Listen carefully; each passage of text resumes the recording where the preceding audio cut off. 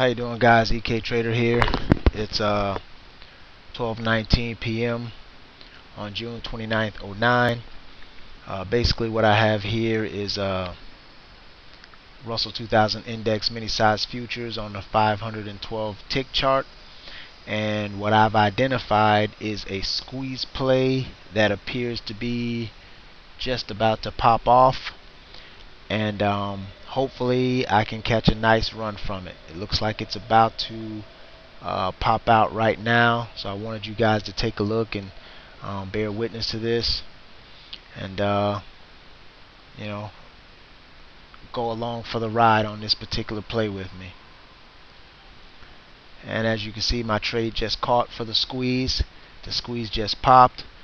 And hopefully uh, let's see where this thing takes me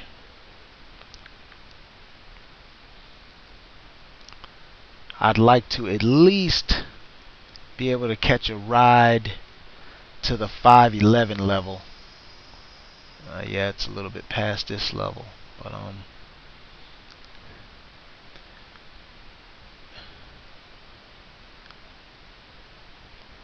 uh, just so you know what the squeeze play is, um, the squeeze play is when the Bowling Bollinger Bands, which is these lines here, begin to trade inside the Keltner channel, which is these two lines here. Um, basically, what it represents is a time of quietness and consolidation. And the methodology behind it is once, um, whichever direction the market pops, whether it's up or down, when the Bollinger Bands pop outside the Keltner channel, you take a trade based on where the momentum indicator is located. In this case, the momentum indicator is facing up, so I have the squeeze uh, to going long. As you can see here also, there's a little bit of rising volume here on the upside, so that gives me a little more confidence also uh, in the squeeze. So all in all, it's it's a it's a quality play. Everything is set up the right way. So basically, I just have to sit back and and uh, you know hopefully it plays out. I'm gonna go ahead and pause the video, and I'll keep you guys posted of the results. Thanks. How you doing, guys? EK Trader here again, um, letting you guys see this squeeze play. Um, I'm gonna show you what's probably gonna happen this is the high of the day so far. There's going to be a lot of shorts sitting here. Now the pros know that there's a lot of shorts sitting here.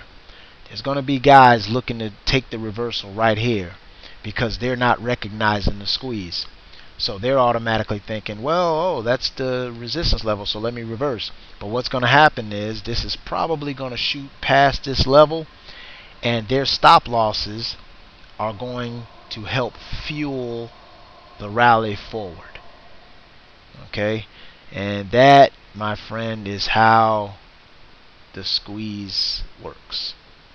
Or, well, one of the ways of how the squeeze works. So, uh, once again, I'm just going to sit back and watch this play develop. And hopefully it's fruitful. How you doing guys? EK Trader back again. Um,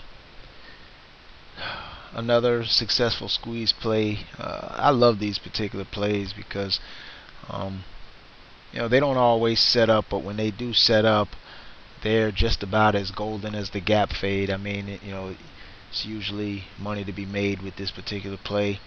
Um, it basically went down just like I said. Um, you know, it, it broke the resistance level.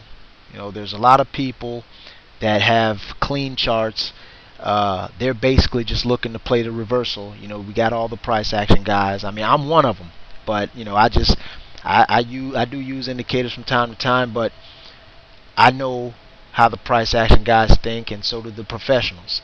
Um, they know that there's a lot of orders sitting right there waiting to reverse, and because they're not using these particular indicators, they're not recognizing the squeeze. So they're just assuming it's going to be another reversal.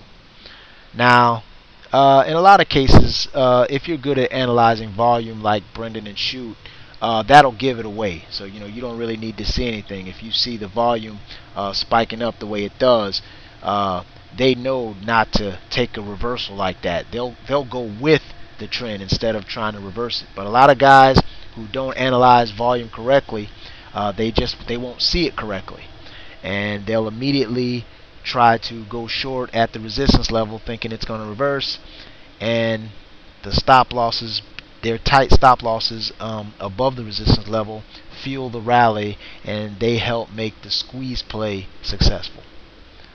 Uh, anyway, I'm just going to keep the video rolling and you guys can just come along for the ride with me while I um, attempt to manage this trade. If I was trading two contracts right here, this would be the area where I'd be looking to scale out, maybe take one or two things off the table. But since I'm only trading one contract, you know, I really don't have that luxury. I just have to, it's either all or none.